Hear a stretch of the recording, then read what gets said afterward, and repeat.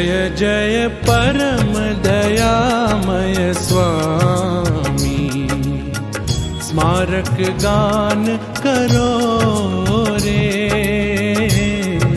जय जय परम दयामय स्वामी। ओ स्मारक गान करो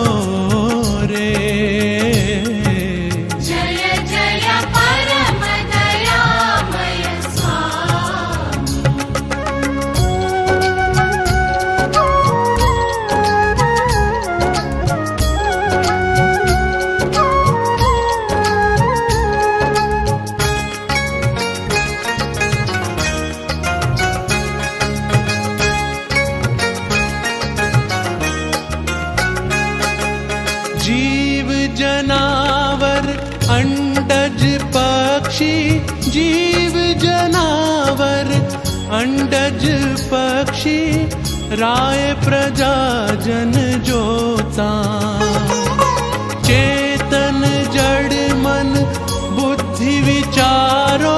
चेतन जड़ मन बुद्धि विचारो। कारक भाषक श्रोता। जय जय परम दयामय स्वामी। ओ स्मारक गान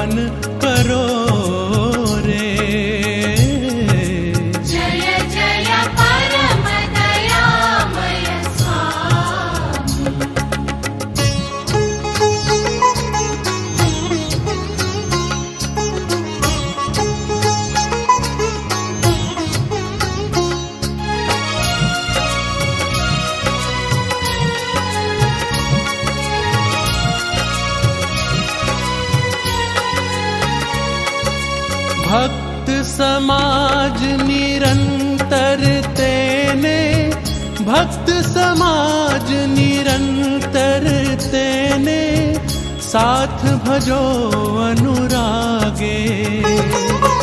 निश दिन ईश्वर ना गुण गाओ निश दिन ईश्वर ना गुण गाओ प्रेम सुगायक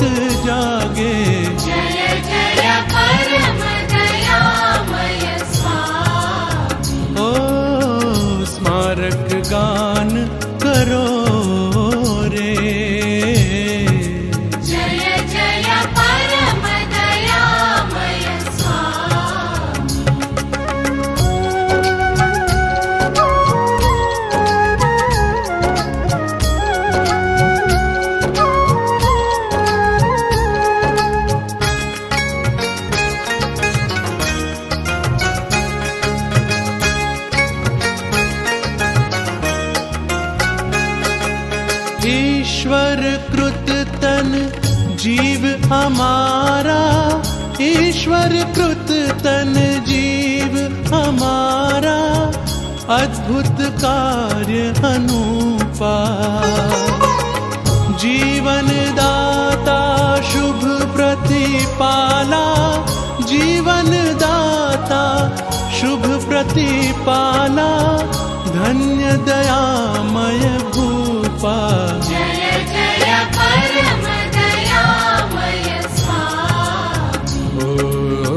स्मारक गान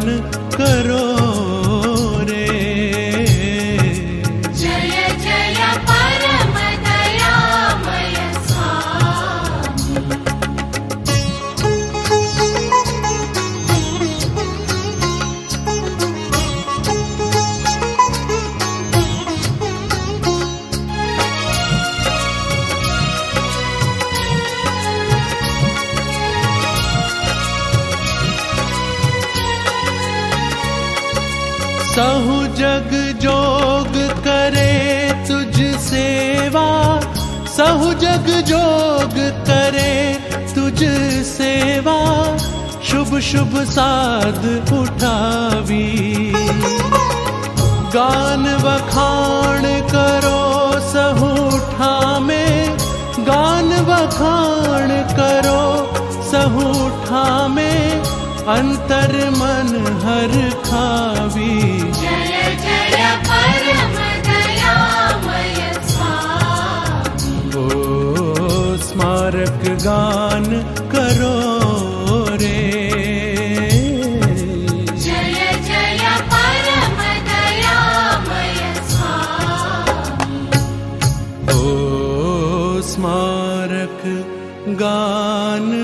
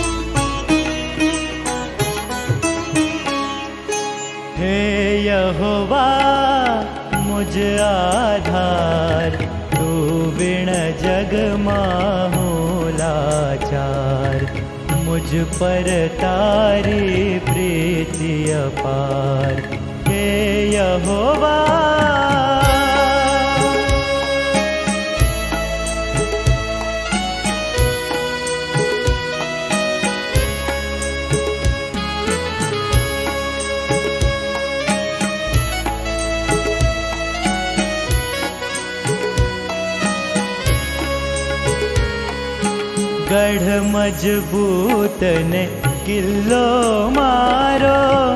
હે પ્રભુ, તું છે તારણ હારો. ગઢ મજબૂતને કિલ્લો મારો. હે પ્રભુ, તું છે તારણ હારો. શત્રુ સૈન્યથી મુજને બચાવે. સ્તુતિને યોગ્ય એક પ્રભુ તું છે, હે યહોવા, મુજ આધાર, તું વિણ જગમાં હું લાચાર મુજ પર તારી પ્રીતિ અપાર. હે યહોવા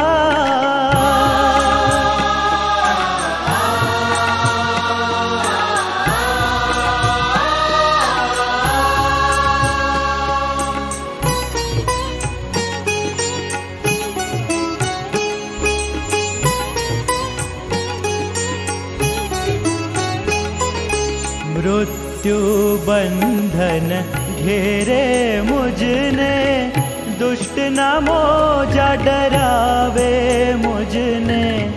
मृत्यु बंधन घेरे मुझने दुष्ट नामो जा डरावे मुझने।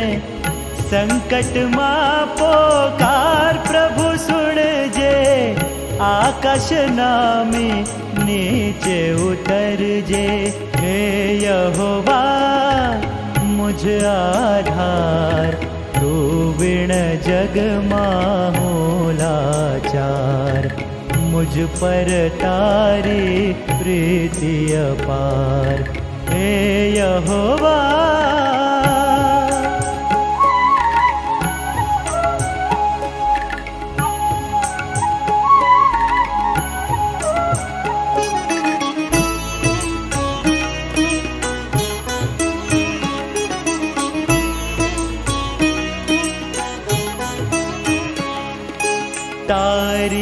તારી પ્રસન્નતા મનમાં રાખું ન્યાયપણાનું ફળ હું ચાખું તારી પ્રસન્નતા મનમાં રાખું ન્યાયપણાનું ફળ હું ચાખું અંતરની પ્રભુ શુદ્ધિ માંગે શુદ્ધ જનો તુજ દર્શન પામે है यहोवा मुझ आधार तू बिण जग माहो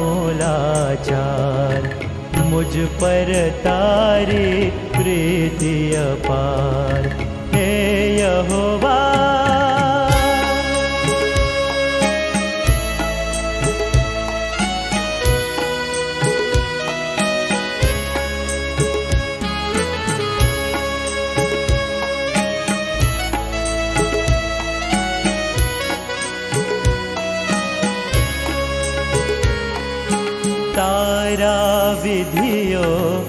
तन्मुख राखूं तारा हुक्मो सर्वहु पाळूं। तारा विधियो सन्मुख राखूं तारा हुक्मो सर्वहु पाळूं। दुखी जन ने खचित बचावे गर्विष्ठ जननो गर्व दबावे हे यहोवा मुझ आधार तो बिण जग मामूलाचार मुझ पर तारी प्रीति अपार हे यहोवा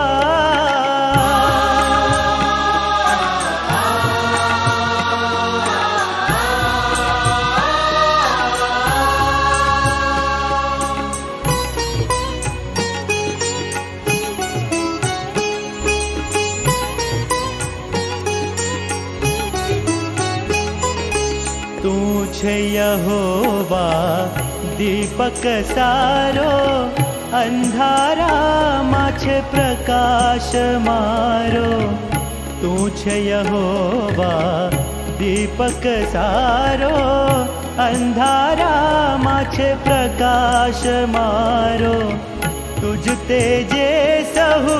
मीर हटे छे तुझ कृपाए विजय मळे छे। હે યહોવા મુજ આધાર તું વિણ જગમાં મોલાચાર મુજ પર તારી પ્રીતિ અપાર હે યહોવા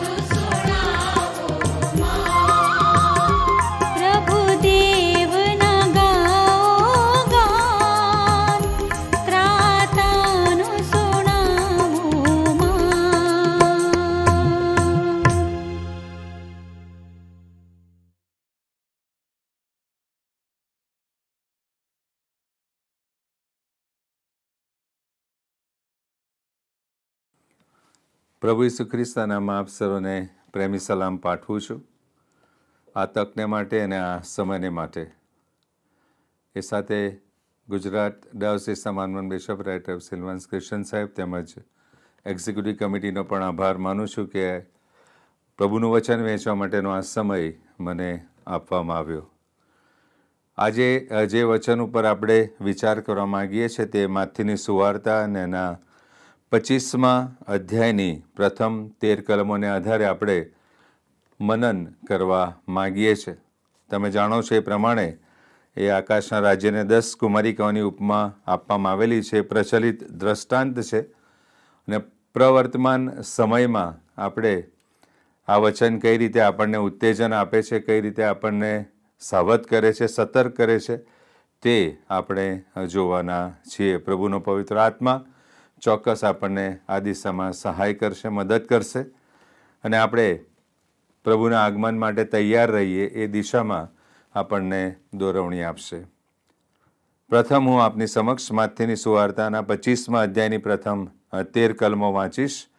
ત્યારબાદ આપણે પ્રાર્થના કરીશું અને વચનમાં આગળ વધીશું. પ્રભુનું વચન માથેની સુવાર્તાના પચીસમાં અધ્યાયમાં આ પ્રમાણે જણાવે છે. તો આકાશના રાજ્યને દસ કુમારિકાઓની ઉપમા અપાશે કે જેઓ પોતપોતાની મશાલો લઈને વરને મળવા સારું બહાર નીકળી. અને તેઓમાંની પાંચ મૂર્ખ હતી ને પાંચ બુદ્ધિમાન હતી. કેમ કે મૂર્ખીઓએ પોતાની મશાલો લીધી ખરી, પણ તેઓએ સાથે તેલ લીધું નહીં. પણ બુદ્ધિવંતીઓએ પોતાની મશાલો સાથે પોતાની કુપ્પીમાં તેલ લીધું. અને વરને આવતા વાર લાગી એટલામાં તેઓ સર્વ ઝોકા ખાઈને ઊંઘી ગઈ. અને મધરાતે બૂમ પડી કે, જુઓ, વર આવ્યો, તેને મળવાને નીકળો. ત્યારે તે સર્વ કુમારિકાઓએ ઉઠીને પોતપોતાની મસાલો તૈયાર કરી અને મૂર્ખીઓએ બુદ્ધિવંતીઓને કહ્યું કે, તમારા તેલમાંથી અમને આપો, કેમ કે અમારી મસાલો હોલવાઈ જાય છે. પણ બુદ્ધિવંતીઓએ ઉત્તર દીધો કે, કદાચ અમને તથા તમને પૂરું નહીં પડે. માટે તમે વેચનારાઓની પાસે જઈને પોતપોતાને સારું વેચાતું લો. અને તેઓ વેચાતું લેવા ગઈ એટલામાં વર આવી પહોંચ્યો. ને જેઓ તૈયાર હતી તેઓ તેની જોડે લગ્ન જમણમાં ગઈ અને બારણું બંધ કરવામાં આવ્યું. પછી તે બીજી કુમારિકોએ આવીને કહ્યું કે, ઓ સ્વામી સ્વામી અમારે સારું ઉઘાડ. પણ તેણે ઉત્તર દીધો કે, હું તમને ખચિત કહું છું કે હું તમને ઓળખતો નથી.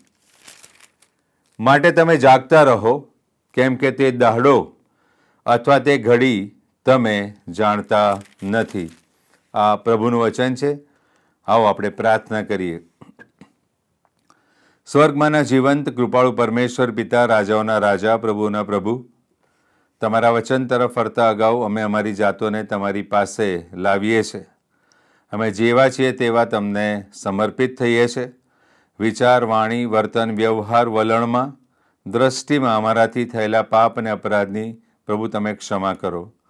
તમારું વચન કહે છે તે પ્રમાણે જો અમે અમારા પાપ કબૂલ કરીએ તો અમારા પાપ માફ કરવાને તમે વિશ્વાસુ તથા ન્યાયી છો. હા, પ્રભુ, અમને ક્ષમા કરો. તમારા પવિત્ર વચનમાંથી જ્યારે અમે શીખવા માગીએ છીએ સમજવા માગીએ છીએ ત્યારે આખું બેક પાંચ પ્રમાણે તમારું સ્વર્ગીય દૈવી જ્ઞાનમ પ્રત્યેકને આપો. વચન સમજવાને, સ્વીકારવાને માટે આધીન થવાને માટે અને વચન પ્રમાણે જીવન જીવવાને માટે પ્રથમ મુજને તેમજ સાંભળનાર પ્રત્યેકને પ્રભુજી તમે સહાય તથા મદદ કરો. અમારી જાતોને તમારા હાથમાં અને વિશેષ મારી જાતને તમારા હાથમાં સોંપતા પ્રાર્થના અમારા મધ્યસ્થ તારનાર પ્રભુ ઈસુ ખ્રિસ્તને લીધે તમે સાંભળી છે, માટે આભાર માનીએ છીએ આમેન. માથેની સુવાર્તાના પચીસમાં અધ્યાયમાં જે દ્રષ્ટાંત આપણને આપવામાં આવેલું છે, પ્રભુ ઈસુ ખ્રિસ્તના બીજા આગમન વિશે મને અને તમને જણાવે છે. વિશ્વના ફલક ઉપર જે ઘટનાઓ આજકાલ બની રહી છે, જે કંઈ પણ બાબતો બની રહી છે, પછી યુક્રેન વોરની વાત કરો કે ઓગણીસ અને વીસના વર્ષમાં થયેલા કોવિડની શરૂઆત અને પછી જુદા જુદા એના ફોર્મ્સ વગેરેની વાત કરો. મંકી વાયરસની વાત આવે, ટોમાટો વાયરસની વાત આવે જાત જાતના રોગો જાત જાતની સમસ્યાઓ પૃથ્વી પર આપણને જોવા મળી રહી છે. એ સાથે ગ્લોબલી ઘણા બધા ચેન્જીસ પણ આપણને જોવા મળી રહ્યા છે. જુદી જુદી ધરી આકાર લઈ રહી છે, પોલિટિકલી, ફિનાન્શિયલી અથવા તો સ્ટ્રેટેજિકલી ઘણા બધા દેશો એક થઈ રહ્યા છે. પણ એ બધા જાહેર કરી રહ્યા છે કે પ્રભુ ઈસુ ખ્રિસ્તનું બીજું આગમન ખૂબ જ નજીક છે. હું અને તમે એક એવા બારીક સમયમાંથી પસાર થઈ રહ્યા છે કે જ્યારે પ્રભુ ઈસુ ખ્રિસ્ત મને અને તમને લેવાને માટે આવી રહ્યા છે. એ સમય પાસે આવી રહ્યો છે. જેમ એક કલાક, એક મિનિટ, એક સેકન્ડ, એક દિવસ, એક વર્ષ પસાર થાય છે, એમ ઈસુના આગમનનો સમય વલાઓ નજીક અને નજીક આવતો જાય છે. ઘણી બધી વખત આપણે એવી દ્વિધામાં, આપણે એવી ભ્રમણામાં કદાચ સપડાઈ જઈએ છે કે બાઇબલમાં તો બે હજાર વર્ષ પહેલાં કહ્યું હતું કે પ્રભુ ઈસુ ખ્રિસ્ત આવવાના છે. ત્યાં એવું લખેલું છે કે જુઓ હું જલ્દી આવું છું. પણ આટલા બધા વર્ષો થઈ ગયા ને હજુ પ્રભુ ઈસુ ખ્રિસ્ત આવ્યા નથી. કદાચ આપણને ઘણા બધા પ્રશ્નો પણ થાય. પણ એક વાત તમારી સાથે શેર કરું. જ્યારે પ્રભુ ઈસુ ખ્રિસ્તના જન્મ વિશે યશા પ્રબોધકે આગાહી કરી હતી, ઈસુના જન્મના છસો વર્ષ પહેલાંની એ વાત હતી. છસો વર્ષ પૂર્વે યશા પ્રબોધકે ભવિષ્યવાણી કરી કે જો કુંવારી ગર્ભવતી થશે ને એને દીકરો અવતરશે, એનું નામ ઇમાનુએલ પાડવામાં આવશે, એ બધી બાબત આપણે જાણીએ છીએ પણ વાલાઓ, જ્યારે ખરેખર ઈસુનો જન્મ થયો, ત્યારે જે યહૂદી લોકો હતા, એ લોકો આ ભવિષ્યવાણીથી પરિચિત હતા. ઈસુનો જન્મ બેથલેહેમમાં થશે, એ વાતથી એ લોકો પરિચિત હતા. ઈસુની આગળ માર તૈયાર તરીકે, તૈયાર કરનાર તરીકે યોહાન બાપ્તિસ આવશે. એ બાબત વિશે એ લોકો જાણતા હતા. ઈસુનો જન્મ યહુદાના કુળમાં થશે એ બાબત વિશે લોકો જાણતા હતા. પણ આપણે જાણીએ છીએ, આપણું બાઇબલ આપણને જણાવે છે કે જ્યારે ઈસુનો જન્મ થયો, ત્યારે લોકો એ સમયે પણ તૈયાર નહોતા. અત્યારે પણ પ્રભુ ઈસુ ખ્રિસ્ત જ્યારે બીજી વખત એમની મરણીને લેવાને માટે આવી રહ્યા છે, કન્યાને લેવાને માટે આવી રહ્યા છે, ત્યારે કદાચ આ જ પ્રકારની માનસિકતા અથવા તો આ જ પ્રકારનું ચિત્ર વિશ્વના ફલક ઉપર જોવા મળી રહ્યું છે. મારે મારી જાતને પ્રશ્ન પૂછવો રહ્યો કે શું હું ઈસુના બીજા આગમન માટે તૈયાર છું? એ સંદર્ભમાં આજના વચનમાંથી કેટલીક બાબતો હું તમારી સાથે શેર કરવા માંગુ છું. પ્રભુ પવિત્ર આત્માની સહાય થકી. માથીની સુવાર્તાના ચોવીસમાં અને પચીસમાં અધ્યાયને ધ્યાનમાં રાખીને જો હું કેટલીક બાબત શેર કરું તો એ અસ્થાને નહીં ગણાય. ચોવીસમો અને પચીસમો અધ્યાય એ આપણા માટે અલગ ભાગ પાડવામાં આવેલા છે. પણ એ ચોવીસમો અને પચીસમો અધ્યાય પ્રભુ ઈસુ ખ્રિસ્તે એમના શિષ્યોની સાથે એકાંતમાં જૈતુન પહાડ ઉપર ગાળેલો સમય છે. તમે માથીની સુવાર્તાનો ચોવીસમો અધ્યાય અને એની ત્રીજી કલમ વાંચો તો ત્યાં આગળ આવું લખેલું છે કે પછી જૈતુનના પહાડ પર તે બેઠો હતો, તેવામાં તેના શિષ્યોએ એકાંતમાં તેની પાસે આવીને કહ્યું કે એ બધું ક્યારે થશે અને તારા આવવાની તથા જગતના અંતની નિશાની શી થશે તે અમને કહે. ત્યાર પછી પ્રભુ ઈસુ ખ્રિસ્ત ચોવીસમાં અને પચીસમાં અધ્યાયમાં શિષ્યોની સાથે અજે વહેંચે છે, જે આવનાર ભવિષ્ય માટે છે એ પ્રભુ ઈસુ ખ્રિસ્ત દ્વારા બોલાયેલા શબ્દો છે. એ જે કંઈ પણ પ્રોફેસી છે જે કંઈ પણ ચિહ્નો આપવામાં આવેલા છે, જે કંઈ પણ નિશાનીઓ આપવામાં આવેલી છે, એ પ્રભુ ઈસુ ખ્રિસ્તે પોતે આપેલી છે. દેવે પોતે મને અને તમને એ નિશાનીઓ આપેલી છે. અને ચોવીસમાં અધ્યાયમાં મને ને તમને અંજીરીના દ્રષ્ટાંતની પણ વાત કરવામાં આવેલી છે કે જે સીધે સીધું ઇઝરાયેલી પ્રજા સાથે રિલેટ થાય છે. આ જુદા જુદા સમયોની પણ વાત કરવામાં આવેલી છે. કે જેથી હું અને તમે સમજી શકીએ કે પ્રભુ ઈસુ ખ્રિસ્ત એની મરણીને લેવાને માટેના સમયમાં આવેલા છે કે કેમ. ઈસુ મરેને તમને લેવા આવી રહ્યા છે એ બાબત ચોક્કસ કારણ છે, કારણ કે પ્રભુ ઈસુ ખ્રિસ્ત પોતે એ આગમન વિશે મને ને તમને જાણ કરે છે. અને પછી પચીસમા અધ્યાયમાં આ દસ કુમારિકાઓના દ્રષ્ટાંતની વાત આપવામાં આવેલી છે, જેને આકાશના રાજ્યની ઉપમા આપવામાં આવેલી છે. અને એ દ્રષ્ટાંતની પાછળ મૂળભૂત કારણ એ મને ને તમને તૈયાર રહેવાને માટે, સતર્ક રહેવાને માટે જાણ કરવા માટેનું છે. ઘણી બધી વખત આપણે પણ વિશ્વાસી ખ્રિસ્તી તરીકે અથવા તો ખ્રિસ્તી વ્યક્તિ તરીકે આપણે એવું માનીએ છીએ કે શું ખરેખર આવું થશે?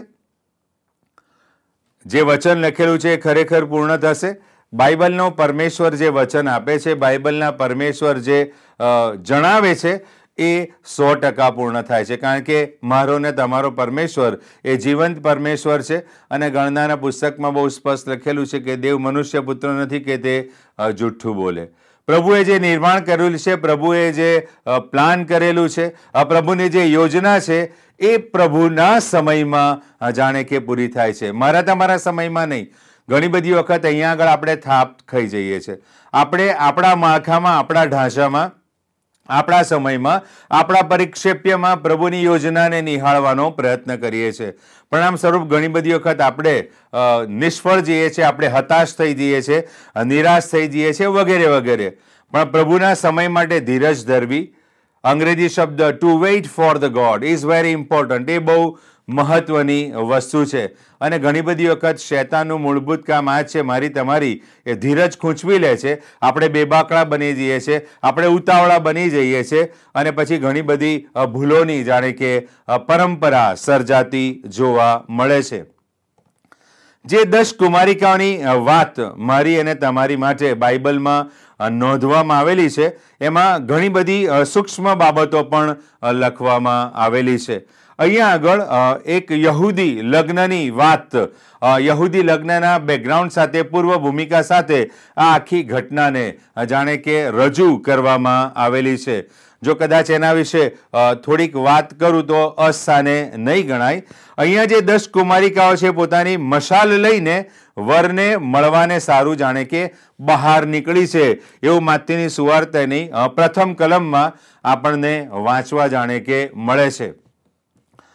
યહૂદી લગ્નની વાત કરીએ તો યહૂદી લગ્નની વ્યવસ્થામાં પિતા દ્વારા મોટે ભાગે દીકરીના માટે વરની વ્યવસ્થા કરવામાં આવતી હતી.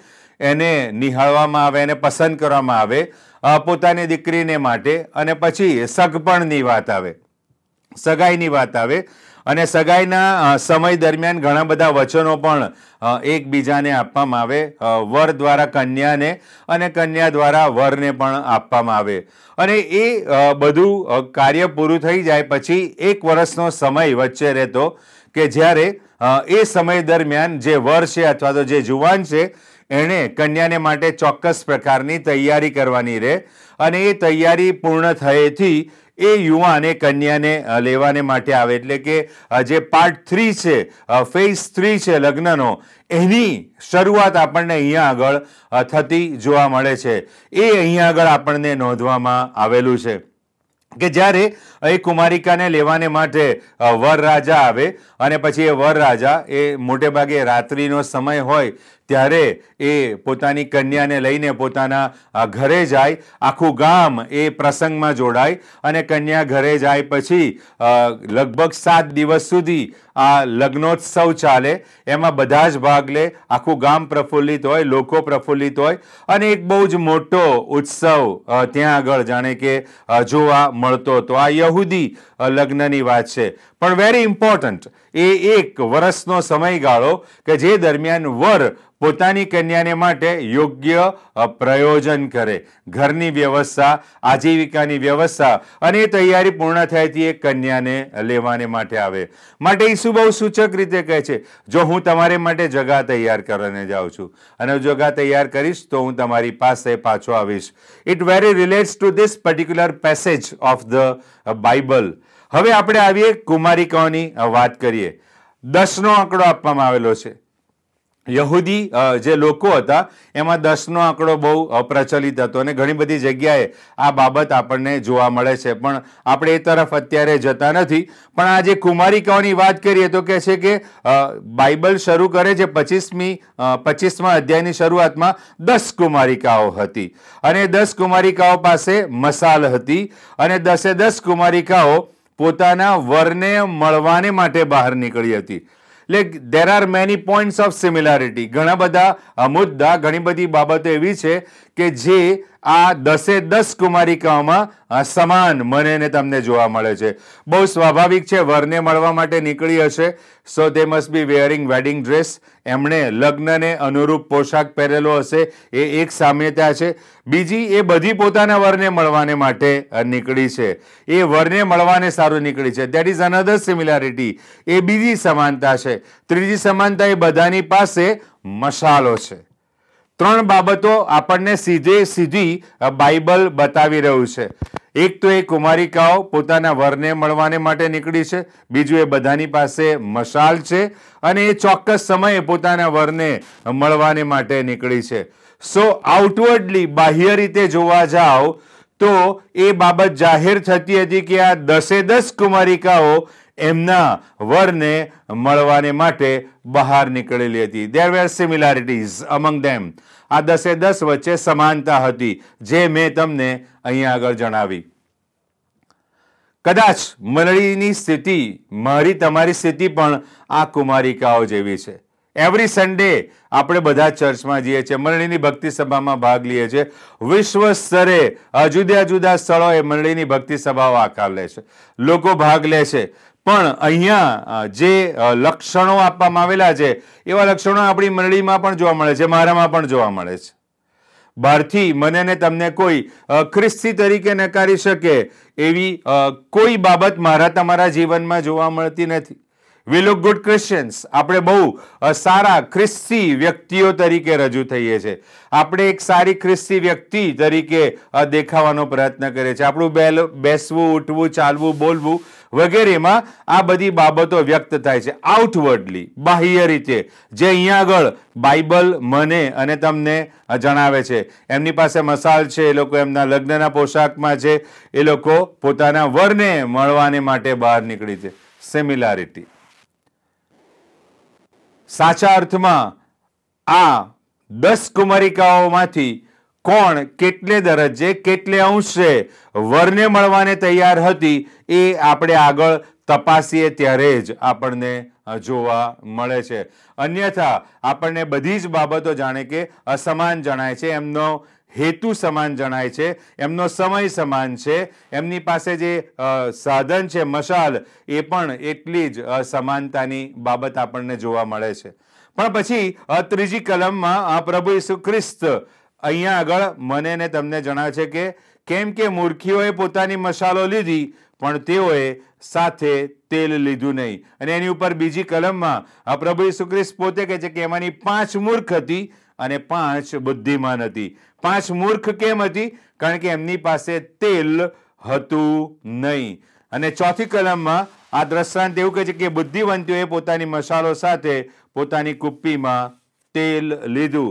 અને પછી લખેલું છે કે, વરને આવતા વાર લાગી, એટલામાં તેઓ સર્વ ઝોકા ખાઈને ઊંઘી ગઈ. અગેન વન મોર સિમિલારિટી એક બીજી સામ્યતા એ દસે દસ જણા સૂઈ ગયા. એ દસે દસ કુમારિકાઓને ઝોકા આવ્યા અને એ ઊંઘી ગઈ. કદાચ આપણને એમ થાય કે આ તો વરને આવતા વાર લાગી માટે, મોડું થયું માટે. પણ એક બાબત હું તમારી સાથે શેર કરું. તો સ્થાને નહીં ગણાય. અહીંયા આગળ વરને આવતા વાર લાગી એવું લખેલું છે. પણ એ દસ કુમારિકાઓની અપેક્ષાના સંદર્ભમાં વાત કરવામાં આવેલી છે. પ્રભુનો સમય વાલાઓ નિર્ધારિત છે. વિચ નેવર ચેન્જીસ એ સમય કદી બદલાતો નથી. ઈસુ એમના સમયમાં આવશે આવશે અને આવશે. એ સમય હું નથી જાણતો. એ સમય તમે પણ નથી જાણતા. પણ એ શું આવશે એ બાબત ચોક્કસ છે. એ એમના સમયમાં આવશે. ઘણી બધી વખત હું અને તમે મનુષ્ય તરીકે એવી અપેક્ષાઓ રાખીએ છીએ, એવા પ્રકારની વિચારસરણી ધરાવીએ છીએ દેન બિકમ્સ અ કોન્ફ્લિક્ટ ત્યારે સંઘર્ષની વાત ઊભી થાય છે. આમનો એક્સપેક્ટેડ વરના આવવાનો અપેક્ષિત સમય એમના માટે એમણે જે નક્કી કરેલો હતો, એ સમય વર આવવાનો નહોતો. વર તો એના સમય આવવાનો હતો અને માટે અહીંયા આગળ એક બીજી સામ્યતા જોવા મળે છે કે એ લોકો સર્વ ઝોકા ખાઈને ઊંઘી ગઈ. દે વેર સ્લીપ સૂઈ ગયા એ લોકો. ઝોકા ખાઈને સૂઈ ગયા એવું દ્રષ્ટાંતમાં બહુ સ્પષ્ટપણે લખવામાં આવેલું છે. વરને આવતા વાર લાગી, માટે તેઓ સર્વ ઝોકા ખાઈને સૂઈ ગઈ એવું નથી લખેલું. વરને આવતા વાર લાગી. એટલામાં તેઓ સર્વ ઝોકા ખાઈને ઊંઘી ગઈ. વાલા ભાઈ બહેનો આ બાબત સીધે સીધી મારા વ્યક્તિગત ખ્રિસ્તી જીવનને લાગુ પડે છે. મારા ઈશ્વર સાથેના સંબંધમાં હું ક્યાં ઊભો છું? કેટલો સતર્ક છું? કેટલો સાવધ છું? એના સંદર્ભમાં બાઇબલ આજે મારીને તમારી સાથે વાત કરે છે. પ્રભુ ઈસુ ખ્રિસ્ત એવું નથી કહેતા દ્રષ્ટાંતમાં કે તમારે રાહ જોયા કરવાની માટે તમારી બીજી પ્રવૃત્તિઓ બહુ જ ગૌણ બની જાય. નો પ્રભુ એવું નથી કહેતા. મારે મારી જવાબદારીઓ અદા કરવાની છે. મારે મારું કામ કરતા રહેવાનું છે. મારે મારી ફરજો અદા કરતા રહેવાનું છે. પણ એ તમામ પ્રક્રિયામાં હું ઈસુને મળવાને માટે દરેક તબક્કે તૈયાર છું કે કેમ? દેટ ઇઝ વેરી ઇમ્પોર્ટન્ટ એ ખૂબ જ મહત્વની વાત છે. પછી હું કોઈ જગ્યાએ નોકરી કરતો હોઉં, તો એ નોકરી કરવાના સમય દરમિયાન પણ શું હું ઈસુના આગમનને માટે તૈયાર છું? ક્વેશ્ચન માર્ક હું ઘરમાં મારી કૌટુંબિક જવાબદારી અદા કરતો હોઉં, તે જવાબદારી અદા કરતા એ સમયે શું હું ઈસુ આવે તેમને મળવાને તૈયાર છું? પ્રભુ, એ વાત મને અને તમને કહી રહ્યા છે. રાહ જોવાની વાત ઈસુના આગમનને માટે રાહ જોવાની વાત. એનો અર્થ એ નથી કે મારે બીજું બધું છોડી દેવાનું છે અને માત્ર મારે રાહ જોયા કરવાનું છે. નો નોટ લાઈક દેટ એવું નથી કહેતું પ્રભુનું વચન. પ્રભુનું વચન તો એવું કહી રહ્યું છે કે હું અને તમે જે પ્રવૃત્તિમાં છીએ, હું અને તમે જે જવાબદારી અદા કરી રહ્યા છે, હું અને તમે જે ફરજો અદા કરી રહ્યા છે, મારે તમારે ભાગે જે પ્રવૃત્તિઓ છે, મારે તમારે ભાગે જે કાર્ય કરવાનું છે, એ બધામાં શું મારી પ્રાયોરિટી હું ઈસુના આગમનને માટે મારી જાતને તૈયાર રાખું છું કે કેમ? કે મારી સ્થિતિ આ કુમારિકાઓને જેવી છે, મારો વિશ્વાસ ઠંડો થઈ ગયો છે. હું એવું માનવા લાગ્યો છું, ઓ, આ તો બહુ સમય થયો, હવે ઈસુ ક્યારે આવશે? અને ઈસુનો આવવાનો સમય કયો છે? એ તો બાઇબલે કહ્યું હતું કે જો હું થોડી વારમાં આવું છું, આ તો કેટલી બધી વાર થઈ ગઈ. શૈતાન ઘણી બધી વખત મને તમને ભ્રમણામાં નાખવાનો પ્રયત્ન કરે છે. વચનમાં ઊંડા ઉતરીશું, વચનમાં મજબૂત રહીશું તો ઈસુના આગમનને માટે, વાલા ભાઈ બહેનો હું અને તમે સતર્ક રહીશું. This is the only chance હું અને તમે જ્યારે જીવતા છીએ, ત્યારે જ મારાને તમારા માટે તક છે, ત્યારે જ મારાને તમારા માટે સમય છે. એક વખત, એક દિવસ મારી આંખ મીચાઈ જશે અને મને કબરમાં મૂકી દેવામાં આવશે, પછી મારા માટે કોઈ તક નથી. કોઈનાય માટે કોઈ તક નથી. કારણ કે ત્યારે વિચારવાનું, સમજવાનું, સ્વીકારવાનું, નિર્ણય લેવાનું બધું જ બંધ થઈ ગયેલું હશે. બધું જ બંધ થઈ ગયેલું હશે. માટે બાઇબલ બહુ સ્પષ્ટ કહે છે કે આજે જ માન્યકાળ છે, આજે જ તારણનો દિવસ છે. મારે જે કંઈ પણ નિર્ણય લેવાનો છે, મારે ઈસુના સંબંધમાં સતર્ક રહેવાનું, મારે ઈસુ સાથે ચાલવાનું મારે ઈસુની સાથે ચાલવાનું, ઈસુના નિર્ણયોને મારા જીવનમાં અગ્રિમતા આપવાની, મારા જીવનમાં સર્વોપરિતા ઈસુને, એ મારે મારા આ જીવનમાં જ કરવાનું છે કે જે મને ઈશ્વર તરફથી મળેલી અમૂલ્ય ભેટ છે. ઘણી બધી વખત આપણે આમાં પાછા પડીએ છીએ, આપણે પણ આ ઝોકા ખાઈને સૂઈ જઈએ છીએ, કારણ કે આપણી અગ્રિમતાઓ બદલાઈ જાય છે. પ્રાયોરિટી ચેન્જીસ મારી અગ્રિમતા ઈસુ નથી, મારી અગ્રિમતા મારો વ્યવસાય બને છે, મારી અગ્રિમતા મારું ફેમિલી બને છે, મારી અગ્રિમતા મારા બાળકો બની જાય છે, મારી અગ્રિમતા મારો વ્યવસાય બની જાય છે, મારી અગ્રિમતા હું પોતે બની જાઉં છું.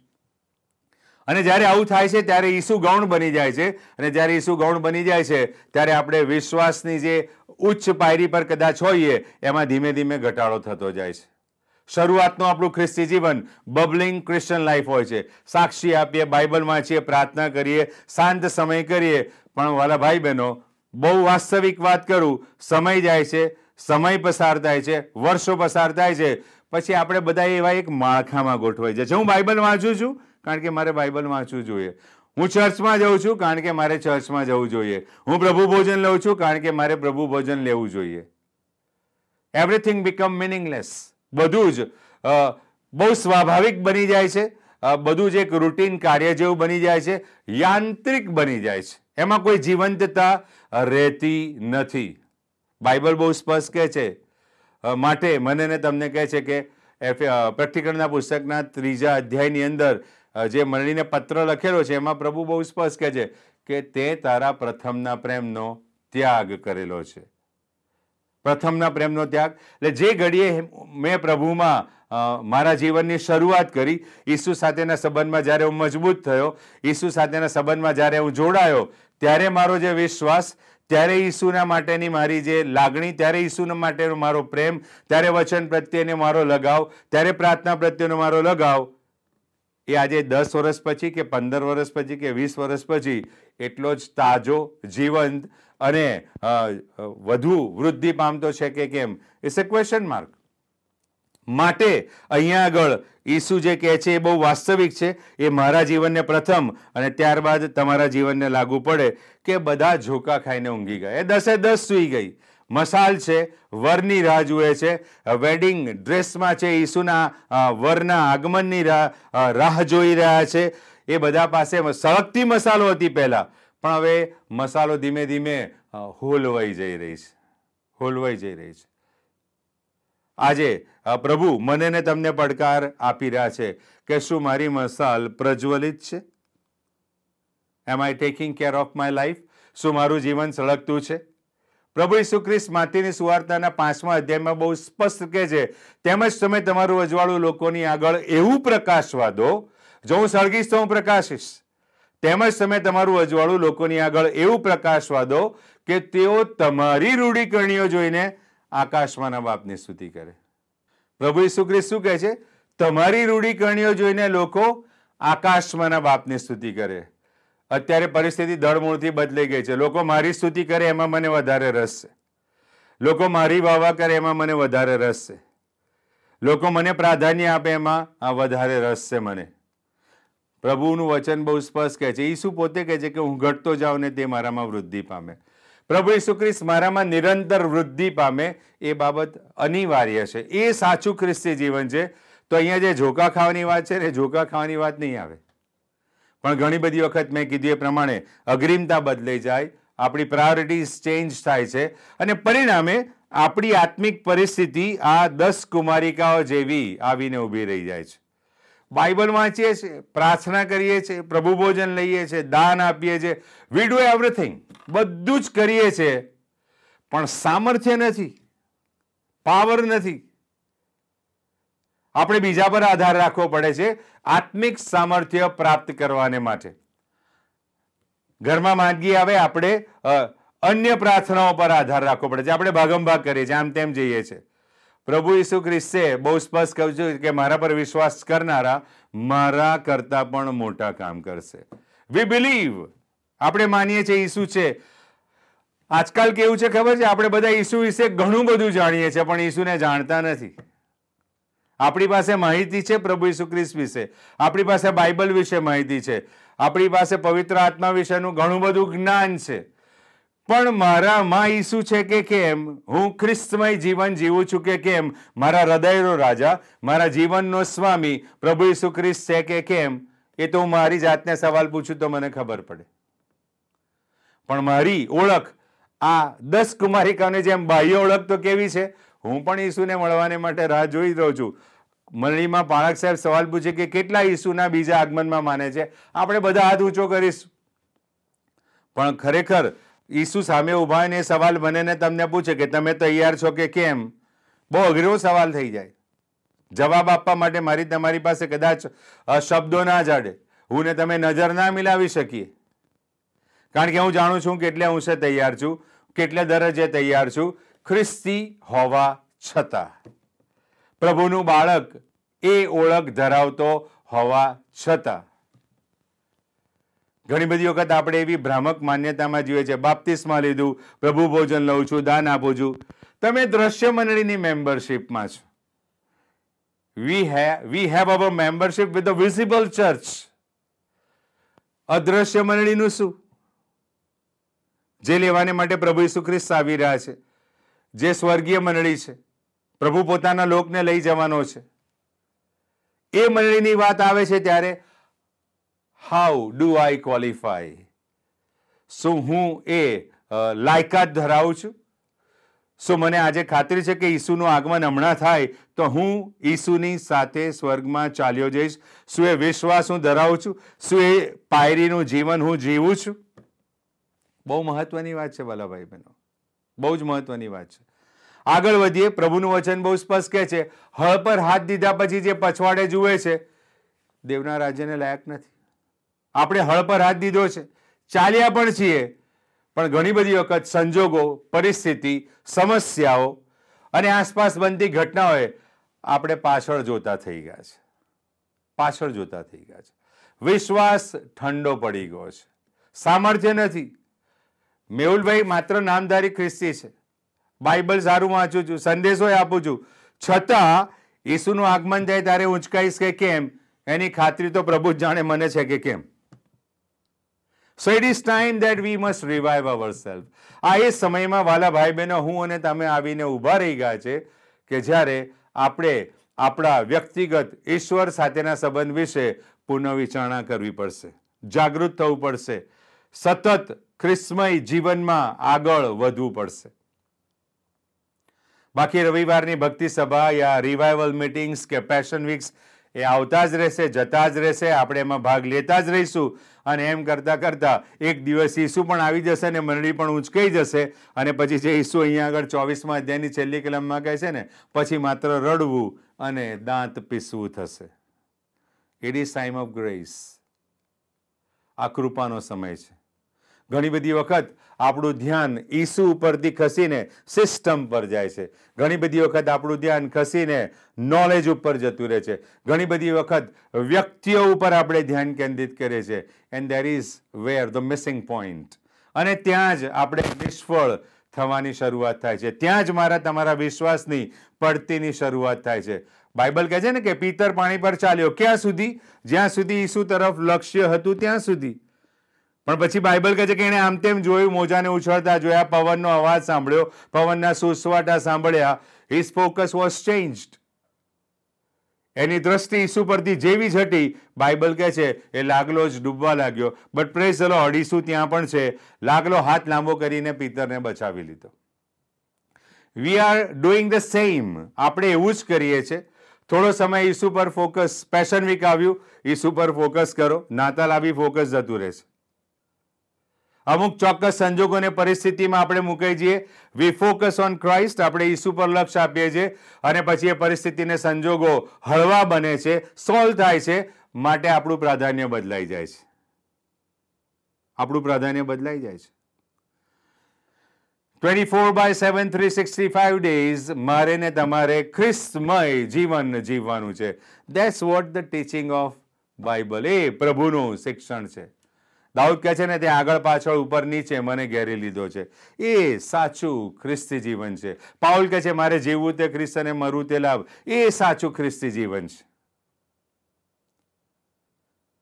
અધરવાઇઝ હું ને તમે આ ઝોકા ખાઈને સૂઈ જનાર દસ કુમારિકાઓના જેવા છે. બટ ધેન થિંગ્સ ચેન્જીસ આગળ વધીએ. ત્યાં કંઈક ફેરફાર જોવા મળે છે. વરને આવતા વાર લાગી ઝોકા ખાઈને ઊંઘી ગઈ. And there was a call અને અચાનક મધરાતે બૂમ પડી. કે જુઓ, વર આવ્યો. ચોવીસમો અધ્યાય જો તમે વાંચો, તેમાં ચાર જગ્યાએ પ્રભુ ઈસુ ખ્રિસ્ત પોતે કહે છે, એ માટે તમે પણ તૈયાર રહો, કારણ કે જે ઘડીએ તમે ધારતા નથી, એ ઘડીએ માણસનો દીકરો આવશે. જે સમય વિશે તમે અનુમાન કરો છો, એમાં ઈસુ આવશે? નો જે ધારણા તમે કરો છો એ સમય ઈસુ આવશે, કદી નહીં. કારણ કે ઈસુ અહીંયા પોતે કહી રહ્યા છે, એ માટે તમે પણ તૈયાર રહો, કેમ કે જે ઘડીએ તમે ધારતા નથી, તે જ ઘડીએ માણસનો દીકરો આવશે. ચોવીસમાં અધ્યાયમાં ચાર વખત પ્રભુ ઈસુ આ બાબતને બહુ સુસ્પષ્ટ કરે છે. મને ખબર નથી પ્રભુ ઈસુ ક્યારે આવવાના છે, અને મારે ડિબેટમાં જવાની જરૂર જ નથી. મારે શું કરવાનું છે? ઈસુ ગમે ત્યારે આવે, એને મળવાને માટે મારે તૈયાર રહેવાનું છે. મારે તૈયાર રહેવાનું છે. અહીંયા આગળ એવું બન્યું દેર વોઝ અ કોલ આજે ઘણા બધા કોલ્સ મારી તમારી આજુબાજુ ઊભા થઈ રહ્યા છે. So many things are happening around us ઘણી બધી બાબતો બની રહી છે. ધરતીકંપો તો હવે ગૌણ બની ગયું. પોલિટિકલ ચેન્જીસ મારી તમારી આજુબાજુ છે. વૈશ્વિક સ્તરે જ્ઞાનની અજાયબ જેવી વૃદ્ધિ થઈ ગઈ છે. ઓક્ટોબર, નવેમ્બર મહિનામાં ભારતમાં ફાઇવજી લોન્ચ થશે. ભારત દેશની સુરત બદલાઈ જશે. હમણાં જ સમરકંદમાં જે આખી એક એશિયાના દેશોની સમિટ મળી, એના તમે ગોલ્સ જુઓ, એમના ઓબ્જેક્ટિવ જુઓ, વિશ્વ ધરાને પ્રભુ બદલી રહ્યો છે. It is not that man is doing all this પ્રભુ એના આગમનના સમયના સંદર્ભમાં વૈશ્વિક માળખાને પ્રભુ જાણે કે ગોઠવી રહ્યા છે. એન્ડ દેટ્સ ધ સાઇન પ્રભુ ઈસુ ખ્રિસ્ત ઘણી બધી ચિહ્નો આપણને આપે છે. પ્રજા પ્રજાની સામે છે, રાજ્ય રાજ્યની સામે છે. પણ અગત્યની વાત ચોવીસમાં અધ્યાયની તેરમી કલમમાં, પણ અંત સુધી જે કોઈ ટકશે, તે જ તારણ પામશે. જે પહેલા તેઓ છેલ્લા થશે, જેઓ છેલ્લા, તેઓ પહેલા થશે. વાલા ભાઈ બહેનો, હું ને તમે બધું જ જાણીએ છીએ. વી નો એવરીથિંગ ઘણી બધી વખત બાઇબલ વાંચ્યું હશે, ઘણી બધી વખત આ સંદેશા સાંભળ્યા હશે, દસ કુમારિકા વિશેના સંદેશાઓ પણ સાંભળ્યા જ હશે, પણ વેરી ઇમ્પોર્ટન્ટ આજે જે પ્રભુ મને તમને જણાવી રહ્યા છે, પ્રભુ મને તમને જે કહી રહ્યા છે it is that whether I am prepared for is second coming or not હું પ્રભુના બીજા આગમનને માટે તૈયાર છું કે કેમ? તૈયાર રહેવાને માટે મારે વચનમાં રહેવું જરૂરી છે. તૈયાર રહેવાને માટે મારા જીવનમાં ઈસુને પ્રાધાન્ય હોવું જરૂરી છે અને તૈયાર રહેવાને માટે મારું જીવન પ્રાર્થનાવાદી હોવું જરૂરી છે. આપણે ઘણી બધી વખત એવું ક્લેમ કરીએ છીએ કે હું તો પ્રાર્થના કરું છું. કેવી પ્રાર્થના કરીએ છીએ? કયા પ્રકારે પ્રાર્થના કરીએ છીએ? કોના માટે પ્રાર્થના કરીએ છીએ? રૂમિયોના પત્રની અંદર પાઉલ પ્રેરિત બહુ ગજબ કહે છે, યથાયોગ્ય શી પ્રાર્થના કરવી એ મને તમને ખબર જ નથી. યથાયોગ્ય શી પ્રાર્થના કરવી એ મને ને તમને ખબર જ નથી. આપણે મધ્યસ્થી કરીએ છીએ. મધ્યસ્થીનું હાર સમજ્યા વગર મધ્યસ્થી કરીએ છીએ.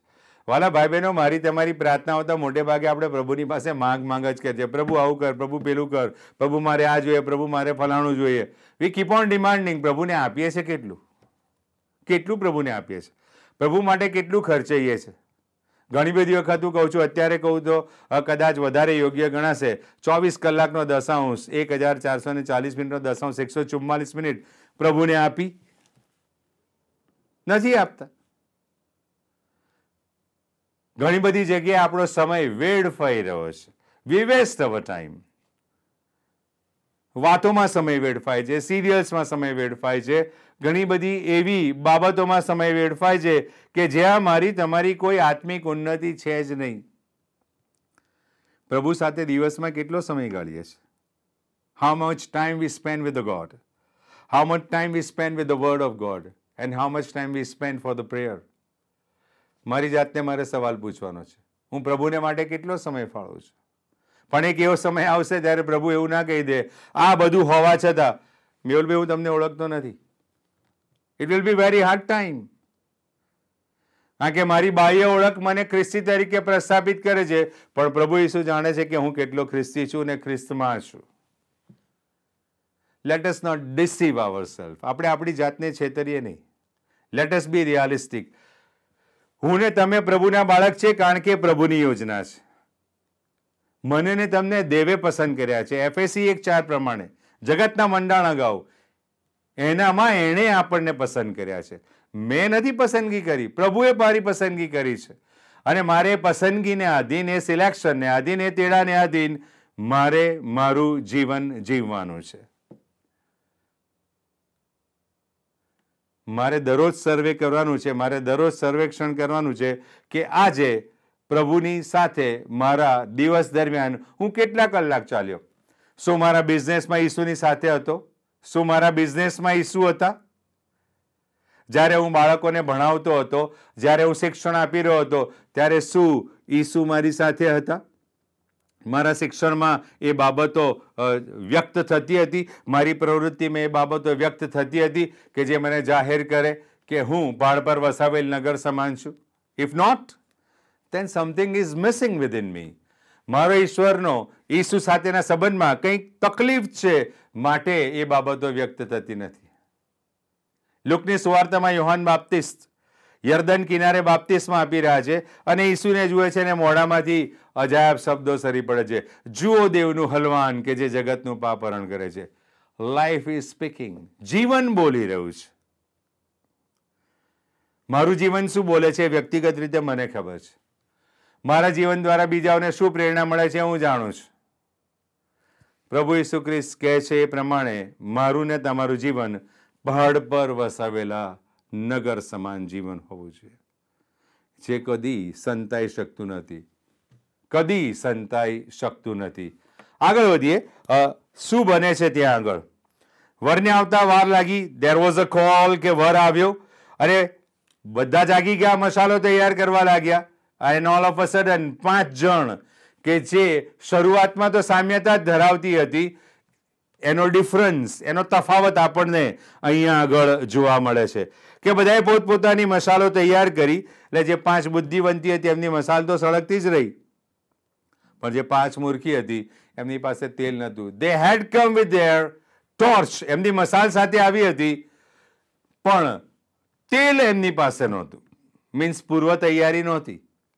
પૂર્વ તૈયારી નહોતી. They were careless about the call એ આ જે પોકાર હતો, એ વરને મળવાની બાબત હતી. એના સંદર્ભમાં એ લોકો બેદરકાર હતી. અને માટે સાચા અર્થમાં, સાચા સમયે એના અપોઇન્ટેડ ટાઈમે જ્યારે વર આવ્યો, ત્યારે આ પાંચ જણા યોગ્ય માલુમ પડ્યા, તૈયાર માલુમ પડ્યા. પાંચ એ તૈયાર નહોતી. કોલ હતો. આ તો અવાજ જ આવ્યો. અને બાઇબલ કહે છે એ પ્રમાણે એ લોકો ક્યાં ગયા? તેલ ખરીદવાને માટે એ જે પાંચ મૂર્ખીઓ હતી, એ લોકો વેચાતું લેવાને માટે ચાલી ગઈ. અને એટલામાં વર આવી ગયો. એ સ્પોટ ઉપર, એ જગ્યા ઉપર વર આવી ગયો. અને બાઇબલ કહે છે કે જેની મસાલો સળગતી હતી, એ લોકોને લઈને વર વિદાય થાય છે. દરવાજો બંધ કરવામાં આવે છે.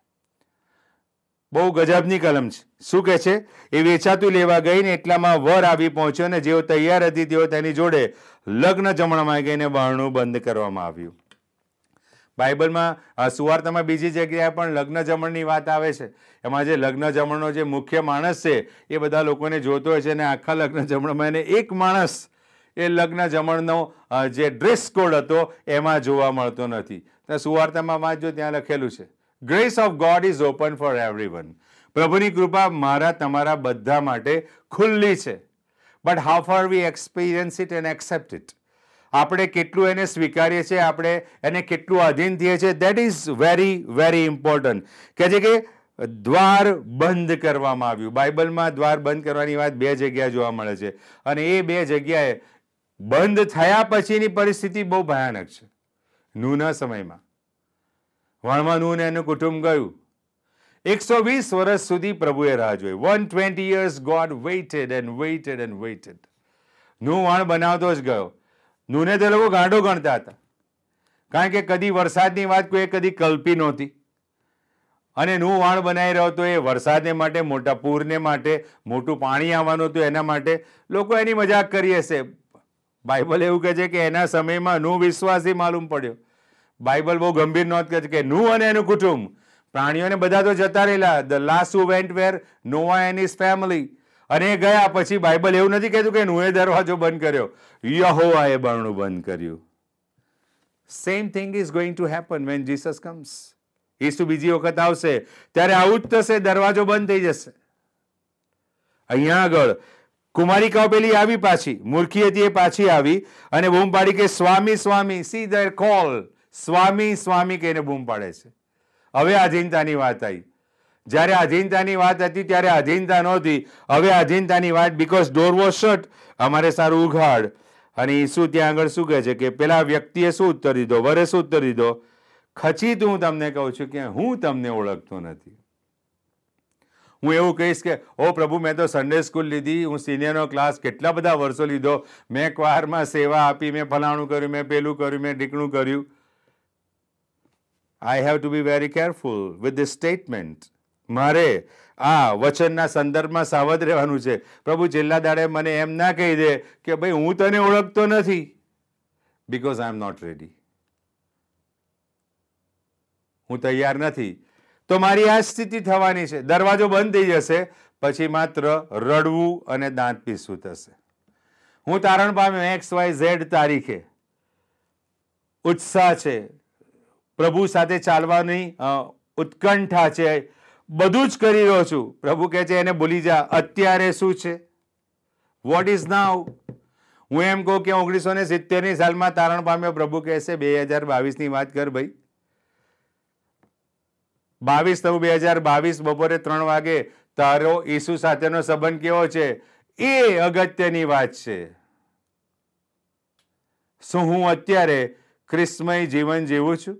શું મારા જીવનમાં પ્રભુ ઈસુ ખ્રિસ્ત અગ્રીમતા ધરાવે છે? દેટ ઇઝ વેરી ઇમ્પોર્ટન્ટ અને તેરમી કલમ સાથે આપણે પૂરું કરીશું. તેરમી કલમમાં પ્રભુ ફરી વખત કહે છે, માટે તમે જાગતા રહો, કેમ કે તે દાડો અથવા તે ઘડી તમે જાણતા નથી. આપણને સમય ખબર જ નથી અને કદી ખબર પડવાનો પણ નથી. પણ પ્રભુ મને ને તમને કહે છે બી એલર્ટ જાગતા રહેવું મીન્સ પ્રભુના વચનમાં રહેવું પ્રભુમય જીવન જીવવું. જીવનમાં પ્રભુને અગ્રિમતા આપવી.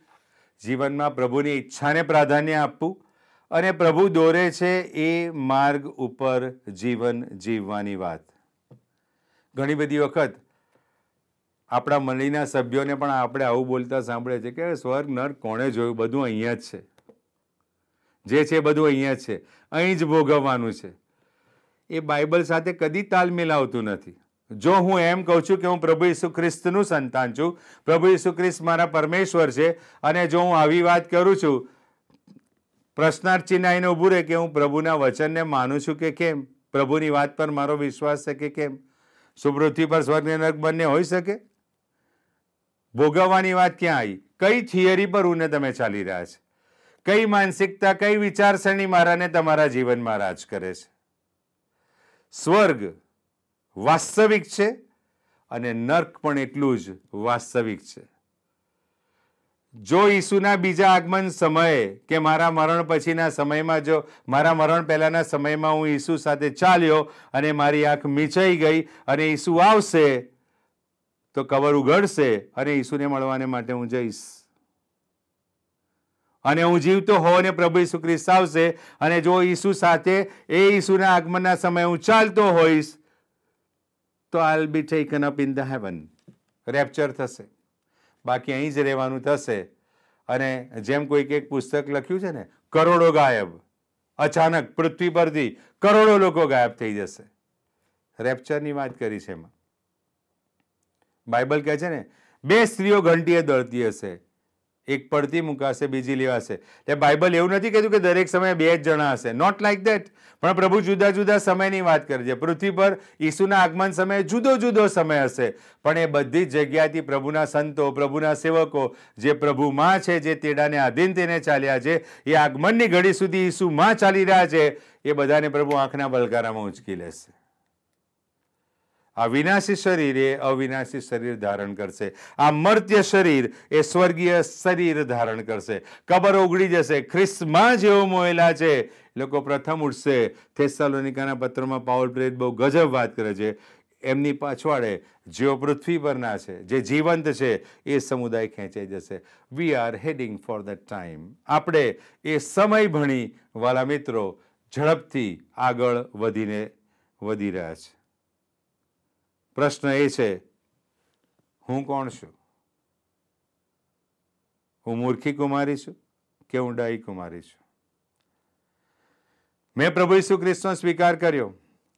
એ જે ઘડી, એ જે સમય મેં સ્વીકાર કર્યો, એ પછી હું ખ્રિસ્ત સાથે કેવી રીતે ચાલું છું? શું હું દરરોજ મારો વધસ્તમ ઉંચકીને ચાલું છું? શું પાઉલ પ્રેરિત કહે છે, એ પ્રમાણેનું મારું જીવન છે? પાઉલ બહુ ગજબ વાત કરે છે ગલાતીઓના પત્રમાં મેં મારું જૂનું માણસપણું એની ઈચ્છાઓ, વાસનાઓ સુદ્ધા વધસ્તંભે જડ્યું છે. માટે હવેથી હું નહીં, પણ મારામાં ખ્રિસ્ત જીવે છે. શું મારી ઈચ્છાઓને, મારી વાસનાઓને, મારી મહેચ્છાઓને વધસ્તંભે જોડું છું? એન્ડ ઇફ નોટ તો હું ઈસુના વધસ્તંભમાં રસ ધરાવું છું. જે કોઈ મારી પાછળ ચાલવા માંગે છે એણે પોતાનો વધસ્તંભ ઉચકીને ચાલવું પડશે.